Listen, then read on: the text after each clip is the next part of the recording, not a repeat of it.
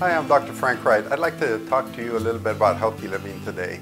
Healthy living incorporates more than just taking your medications and keeping an active lifestyle.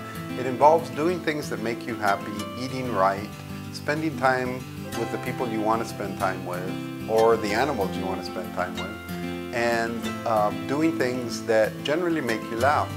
Um, recent studies have shown that these uh, healthy tips can actually work as good as most medications. Bright sunlight early in the morning or early morning walks uh, have been shown to really improve your sleep cycle.